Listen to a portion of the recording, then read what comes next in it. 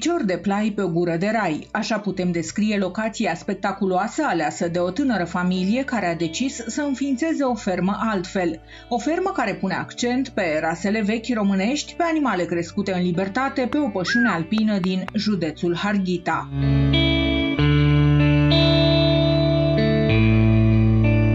Suntem pe grupul de pășune Congo Fo, de aici vine și numele la fermă Congo Farm. Ne aflăm pe uh, teritoriul administrativ al compostoratului uh, Merești. Noi aici, în fermă, de peste 11 ani, încercăm să salvăm și să păstrăm animale din, uh, din specii autohtone.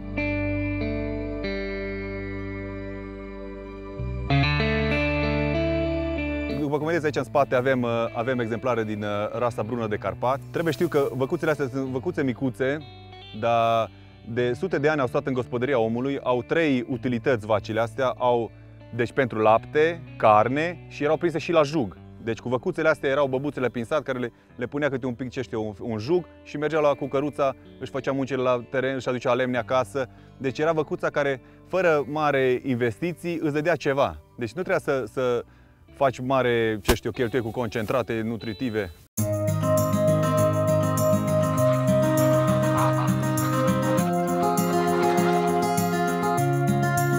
Ultimele exemplare le-am strâns din tot arealul carpatic, începând din județul Gorj, Vrancea, Neamț, Botoșani și am luat exemplare de la, de la gospodării tradiționale și uh, acum avem un nucleu destul de mare, mai avem câțiva colegi care se ocupă cu așa ceva și, și suntem foarte mulțumiți. Noi așa zicem uh, văcuța cappuccino. Deci are un lapte foarte gras.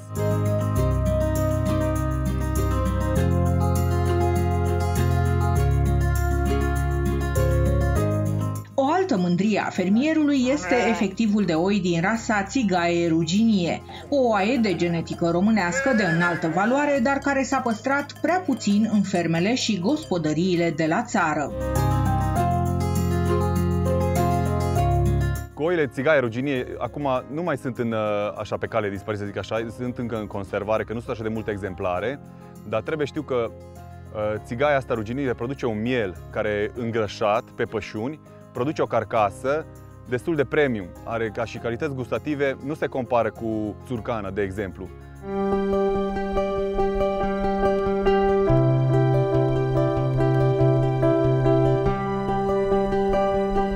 Aici avem uh, turma de, de sterpe de mii de anul trecut de țigaie ruginie. Noi de 12 ani de zile facem ameliorare în cadrul rasei, uh, facem ameliorare și pe producția de lapte. Am uh, început deja de anul trecut să mulgem mecanizat, și uh, avem rezultate destul de bune. Acum am pregătit un lot de 150 de, de miluțe cu uh, certificat zootehnic pentru un coleg și să înceapă și el să mulgă mecanică oile. Trebuie știu că țigaia ruginie la începutul lactației și până la mijlocul lactației poate să producă și peste un litru de lapte pe zi. Am, uh, avem oi aici și cu un litru jumate de lapte, deci uh, eu zic că am, am ajuns la rezultate destul de bune.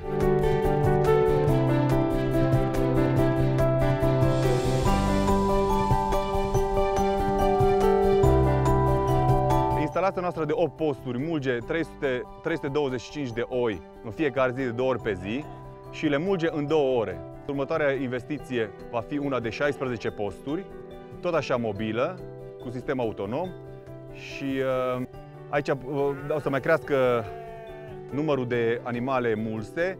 O să avem, cred că anul viitor, peste 500 și acolo, ca să fie și rapidă procesul de mulți, acolo trebuie să achiziționăm una de 16 posturi.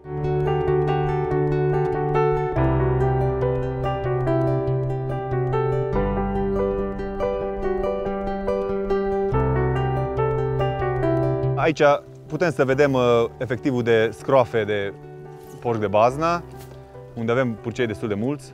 Acum, peste două săptămâni, se scoatem la vânzare.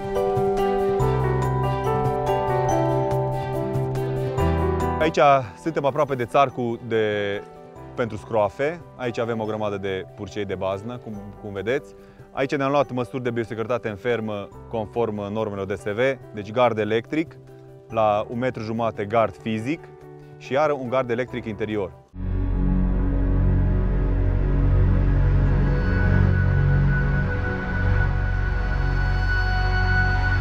Lorand Țăpuc, fermierul pe care îl vedem astăzi înconjurat de animale, destinul l-a dus la început departe de casă.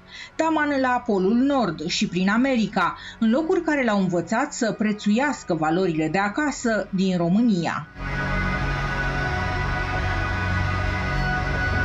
Am ales să plec în, în Norvegia la Polul Nord, adică și aici am ales așa un pic mai diferit decât uh, restul lumii. Toată lumea dacă pleca, pleca în Spania sau în Italia, la căldură, la și am plecat, am plecat uh, în Norvegia, unde a fost așa o călătorie foarte extraordinară și o experiență de viață care, care m-a marcat așa.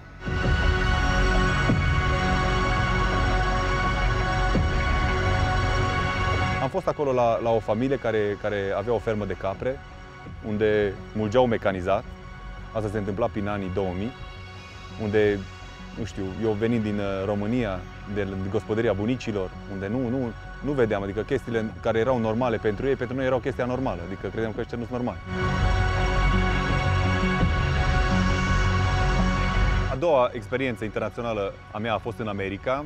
Prima oară am fost într-un parc de distracții, a doua oară la cel mai înalt, uh, cea mai înaltă clădire din New York, la Rockefeller Plaza, la ultimul etaj. Uh, a fost o experiență unică. Am lucrat la o firmă de catering, uh, după care după o discuție avută cu un prieten din Miercurea Ciuc, care lucra, lucra pe camion, la recomandarea lui, am început să lucrez și eu pe camion după ce am făcut școala de șofer, bineînțeles, și am început să umblu pe autostrăzile din America. Deci am umblat pe toate autostrăzile din America, unde am, am avut posibilitatea să văd și să, să simt uh, toată America.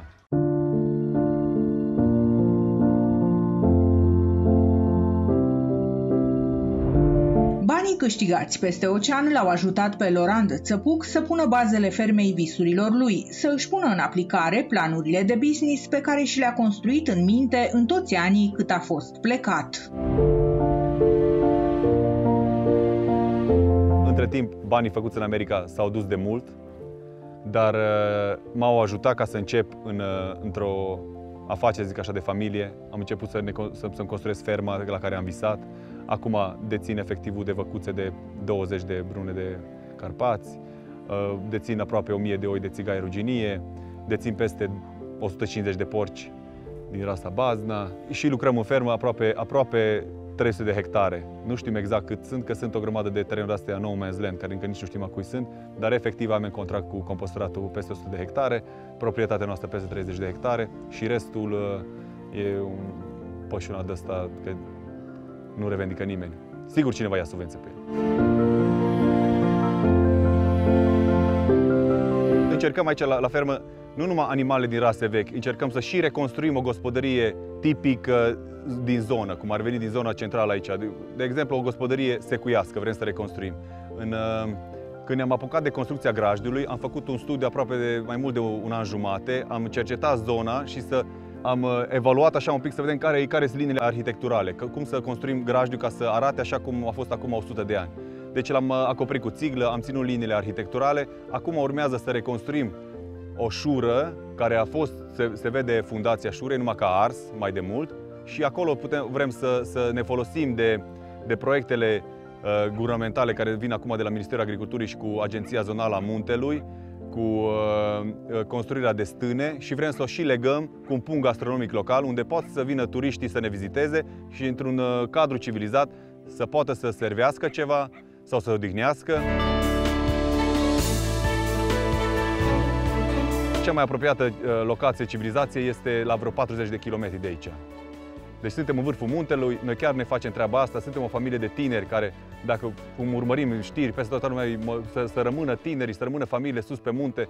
Noi suntem aici, dar suntem în situația că poate că nu o să plecăm noi de aici, că nu ne dăm bătuți așa de ușor, dar cineva să ne identifice sau cineva să ne îmbrățișeze, să ne ia să zică, bă, chiar avem nevoie de voi și faceți o treabă bună. Încă n-am primit nicio bătaie pe umăr, n-am primit nicio strângere de mână de la nimeni, noi facem treaba asta pro bono, am început asta peste 12 ani ca să, să să ne ocupăm de treaba asta și noi credem în treaba asta și ca și valoare este nemăsurată pentru noi și sper ca și, nu știu, și, nu zic conducători și de astea, dar să, să se observe că asta e chiar o chestie bună.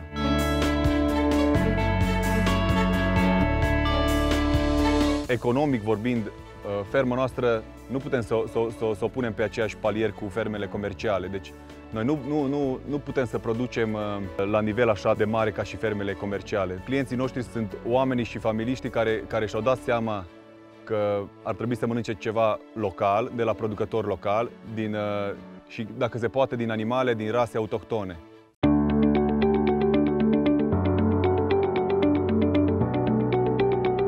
Aici noi în fermă uh, producem din lapte de vacă și din lapte de oaie caș și urdă, pe care îl valorificăm în oraș. Avem un, uh, un parteneriat cu un coleg care are trei magazine de cartier, așa am ajuns aproape de oameni. Mai producem și carne de miel, de sărbătorile pascale, chiar în timpul pandemiei, am, uh, cu ajutorul reclamei pe Facebook online, am, uh, am putut să ducem la, la oameni acasă, chiar să ducem mielul de Paște, să nu rămână fără carne de, de miel. Am început și un proiect care credem foarte mult în el și sperăm să, sperăm să supraviețuiască Farm to Table, unde materia primă ajunge pe meniul uh, restaurantelor. Avem un partener foarte bun cu restaurantul Pava din Odorheiu Secuiesc, unde am început acum cu porcii de bazna. Îi tăiem la un abator autorizat, carcasa ajunge în bucătăria lor, unde se fac preparate și mezeluri și toată lumea este mulțumită și uh, chiar putem să zicem că cu treaba asta am dat o identitate locală. Deci dacă vrei să mănânci ceva local, autentic, poți să-l găsești în restaurante din uh, animalele noastre.